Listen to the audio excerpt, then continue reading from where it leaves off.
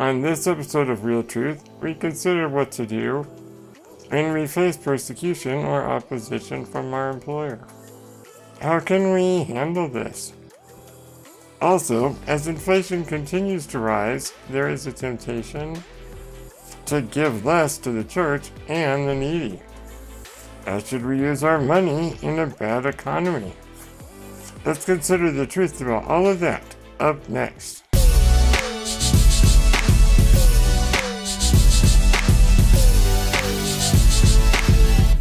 We are going to start this episode with a Bible truth. There are many ways that we can face persecution as Christians, and it is important for us to know how to handle it.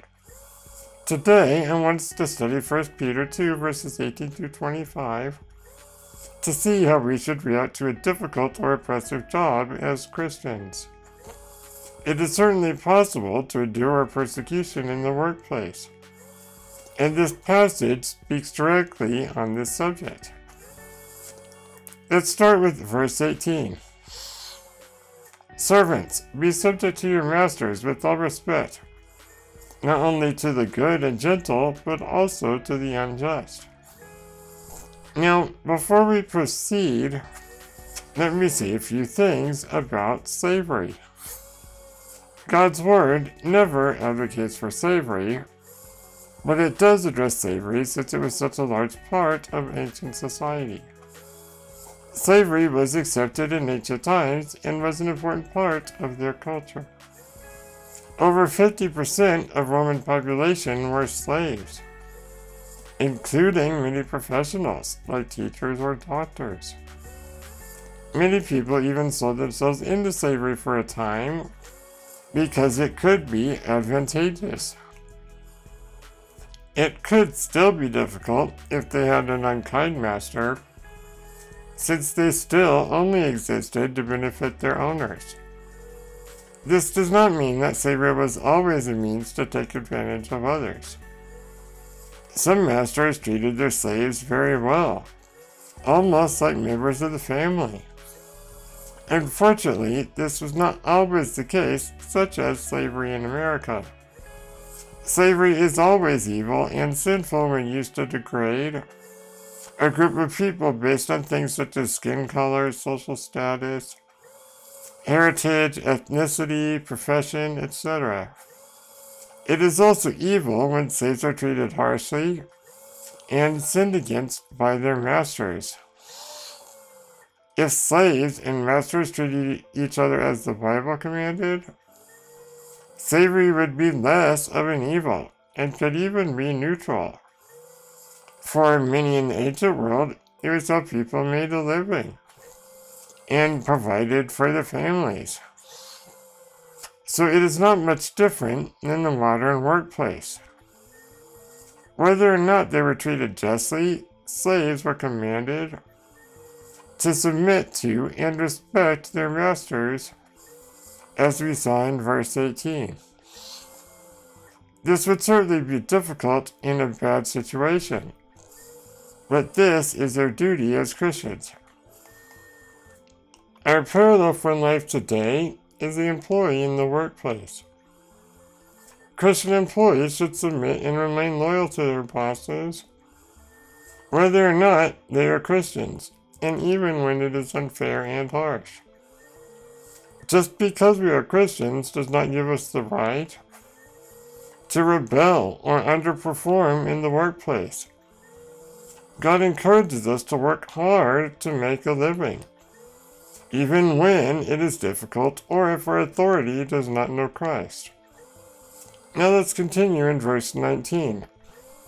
For this is a gracious thing when, mindful of God, one endures sorrows while suffering unjustly. This teaches that it is considered gracious or commendable to endure, even when you are treated unjustly. God wants us to endure that difficulty, and He will help us trust Him during that time. This doesn't mean the actions of the oppressor are commendable, however. It can be difficult to endure unjust suffering, but God can give us the ability to respect our oppressors and respond in a godly way. The MacArthur Bible Commentary shares this on the subject. Favor with God is found when an employee treated unjustly accepts his poor treatment with faith in God's sovereign care rather than responding in anger, hostility, discontent, pride, or rebellion. You see, it is always wrong to react to our suffering with sin, even if that suffering is caused by the actions of others. Continuing in verse 20, the Bible says, For what credit is it if when you sin and are beaten for it, you endure? But if when you do good and suffer for it, you endure, this is a gracious thing in the sight of God. If you sin and are punished for it, that punishment is well deserved. You gain no credit for enduring suffering that you brought on yourself by your own sinful actions. However, sometimes your master, your boss, your parents, or whoever make you suffer for doing good. In this situation, it is commendable to do good and endure that suffering. Our commitment should not be to our comfort, but instead to the will of God and the good works that He requires from us. This is difficult because it goes against our nature. Our nature is to seek revenge and do what brings us pleasure and comfort. We don't want to endure suffering. We want to flee from it. We want to hurt those who hurt us or withhold our full effort all because of our suffering. The Bible continues in verse 21. For to this you have been called, because Christ also suffered for you, leaving you an example so that you might follow in his steps. Even though it is difficult to endure suffering, you have been saved by God's grace. Sometimes Christians will have to face suffering unfairly at the hands of others. When we react to our suffering in a way that is godly, it glorifies God and helps us grow in our faith. Christ Himself suffered for our sakes. He not only endured suffering to save us, but also to leave us with an example to follow. When Christ endured suffering, he still did the will of his Father. In the same way, we should follow the will of God whenever we suffer. We must follow the steps of Jesus and endure our suffering like he did. Just look at how we are told Jesus responded. Verse 22 says, He committed no sin, neither was deceit found in his mouth. Peter quotes Isaiah 53, verse 9 here to demonstrate that Jesus is the perfect example to follow when we respond to suffering. Jesus did not sin when he was oppressed by others. Instead, he patiently endured his unjust suffering and remained silent. He did not lie or try to deceive others just to get out of a bad situation. Of course, Jesus was perfect and he could not have sinned, but the fact that he did not sin and that he lives in us gives us the ability to avoid sin when we suffer. Suffering should not give us an excuse to sin against God. We should continue to follow the example of Jesus and commit no sin when we endure suffering at the hands of others. There is no reason for us to lie or be deceitful because God gives us the strength to persevere when we are treated unjustly. The example from Jesus continues in verse 23. When he was reviled, he did not revile in return. When he suffered, he did not threaten, but continued entrusting himself to him who judges justly. Throughout his life on earth, Jesus was reviled. This means that people spoke to him with abusive and evil words. Even though he was reviled, he never retaliated with verbal abuse of his own. When he suffered, he never threatened them or even tried to argue. He remained silent and never sought revenge, even though they treated him so poorly. Instead, he handed himself over to God, who would justly judge his accusers. It was not his job to judge them. That's not why he came. It was his job to endure suffering and leave the rest up to God. His mission was to die for sinners out of love for them. In the same way, whenever we are reviled and face suffering, we should not retaliate either. We should trust God in the situation and know that He will ultimately give a just judgment.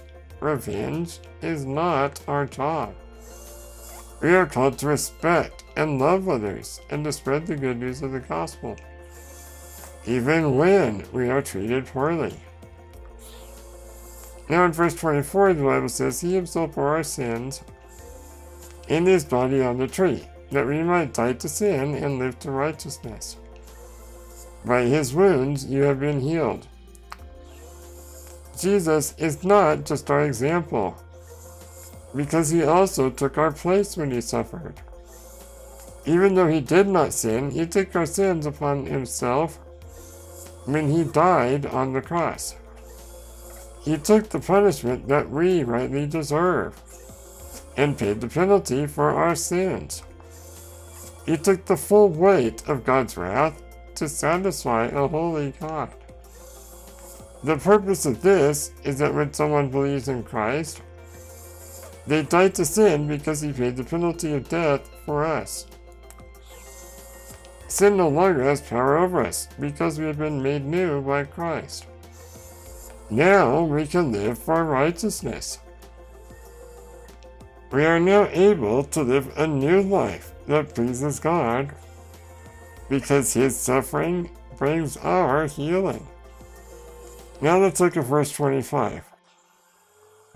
For you were straying like sheep, but have now returned to the shepherd and overseer of your souls. Previously, we were going our own way like sheep, but now we have returned to the fold of God. We have turned toward God in repentance and faith. Jesus is now our shepherd and overseer. This means that he protects us and watches over us. He is now our leader. This is a comforting description for any Christian who is being persecuted for their faith or who is enduring any form of suffering. In our modern culture, you certainly have the option to find a different job. But perhaps your endurance of a difficult boss is a more powerful witness than you realize. It can sometimes be the right thing to change jobs, but don't be hasty to change jobs just because it is difficult. Now let's move on to a new segment, Life Meets Truth. In this segment, I will take a common situation from life and consider how we should respond when met with the truth of Scripture. Something that is common in many of our lives right now is the fact that inflation is at a 40 year high at just under 10%. With the high cost of fuel, food, and other goods, this is straining many lower and middle class families. This is a difficult situation to face, and it often gives people the impulse to become stingy, stash things away, or even hoard certain items. There can even be a temptation to give less or even completely stop giving to others and to the church. As Christians, we are still commanded to handle our money in a certain way. God wants us to be good stewards with our money, but that is not always easy in a difficult situation. There are some who might not be able to do much more than purchase their essential items. If you're in such a situation, make sure that all of your essentials are actually essential. If you consider something like a Netflix subscription as essential, but you pay for it over giving to the Lord, is it really essential? Just make sure you give things the right priority and be careful not to say that something you can live without is truly essential. If you are struggling financially, you can trust that God will provide. But even in that situation, you should still give to the church. The Bible tells us that we should be ready to give according to what we have. In 2 Corinthians 8:12 we are told, "For if the readiness is there, it is acceptable according to what a person has, not according to what he does not have." Even when it is extremely difficult, we are taught that if we seek the kingdom of God and chase after his righteousness, that God will provide for us. Luke 12:24 tells us, Consider the ravens, they neither sow nor reap. They have neither storehouse nor barn, and yet God feeds them. Of how much more value are you than the birds? In this verse, God shows us that He cares for us. If he cares for the birds, of course he cares for you. You're struggling financially, I talk about this a little bit more way back in episode 11. If you're in that situation, I'd encourage you to go back and listen to that episode. However, if you're better off, that doesn't mean that gives you the right to keep all of your money and barely give to the church and others.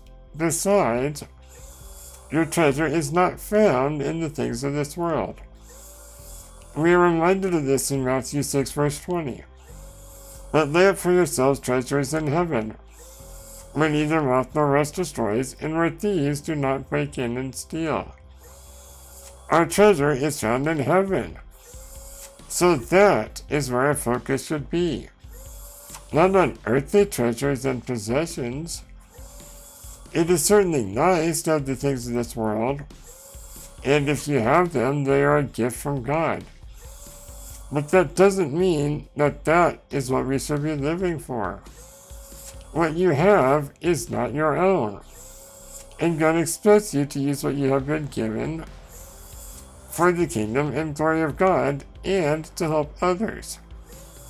Look now at Proverbs 3 verses 9 and 10 which says, Honor the Lord with your wealth and with the first fruits of all you produce. Then your barns will be filled with plenty, and your vats will be bursting with wine.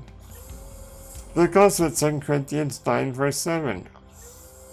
Each one must give as he has decided in his heart, not reluctantly or under compulsion, for God loves a cheerful giver. These verses show us that we should give willingly and cheerfully to honor the Lord. God promises to bless those who do so, even though that might not necessarily amount to material possessions or wealth. God wants all believers to give to those in need. Just look at Proverbs 19:17. Whoever is generous to the poor lends to the Lord, and he will repay him for his deed. We're also taught this in Hebrews 13 16. Do not neglect to do good and to share what you have, for such sacrifices are pleasing to God. You see, it is pleasing to God when you help others with what you have been given. Acts 20, verse 35 says, In all things, I have shown you that by working hard in this way, we must help the weak and remember the words of the Lord Jesus. How he himself said, It is more blessed to give than to receive. God wants us to work hard, earn a living, and give to others. As a result, you will discover the joy of giving. It really is a blessing to give to others when you see how God can use it. Luke 6, verse 35 says, But love your enemies and do good and lend, expecting nothing in return. And your reward will be great, and you will be sons of the Most High. For he is kind to the ungrateful and the evil. This shows us that we should do good and even help our enemies with our money. God helps those who are even evil in some ways. He shows common grace toward them, and they receive things such as the rain that we that they don't deserve. We should follow that example and give to others. We should not expect anything in return when we give. And God ultimately promises his reward to those who help others. That doesn't mean that we give for the reward. That would be selfish. Look at what the rich are commanded to do in 1 Timothy 6, verses 18 and 19. They are to do good, to be rich in good works, to be generous and ready to share. Thus storing up treasure for themselves as a good foundation for the future, so that they may take hold of that which is truly life. The practice of inflation might not be fair as God would desire. Deuteronomy 25:15 says, a full and fair weight you shall have. A full and fair measure you shall have. That your days may be long in the land, and that the Lord your God is giving you. Even though it is not fair, that does not give us an excuse to stop being good stewards with what we have been given. The Bible even teaches us that it is wise to invest our money in the parable of the talents found in Matthew 25, verses 14 through 30. To summarize, a man goes on a trip and gives his workers a few different amounts of money. To one of them he gives 10 talents, to another one 5 talents, and the last one only receives 1 talent. The first two workers invest their money and are praised when the man returns. As a result, they are given more responsibilities. However, the one who received one son buried it in a field and wasted his opportunity. This made the man unhappy when he returned, and led him to call him a wicked and slothful servant. He takes the singleton away from this man and gives it to the one who invested his ten talents. A recent article in the Christian Post gives us a good summary of the lesson to be learned from this parable. The lesson is not just about money, but about how faithful we are to use what God gives us to His glory and to ours and others' benefit. In Jesus' time, inflation probably was not anywhere near what it is now. But the lazy servant still cost his master by doing nothing. If this incident occurred today, it would be like giving away a tenth of the value and giving nothing in return. Even in times of high inflation, we should use our money wisely and even invest it. We should not be like the slothful servant and do nothing just because the economy is in bad shape. Be encouraged to trust the Lord for the things that you need and to give back to Him by giving to the church and those in need. What has helped you cope with a difficult employer? And has this encouraged you to give despite a poor economy? Let me know down in the comments. Please remember to like this video, subscribe, and turn on notifications. Also, follow us on social media and share this video. If you want to support this ministry, please consider donating. As always, thanks for watching, and until next time, walk in the truth.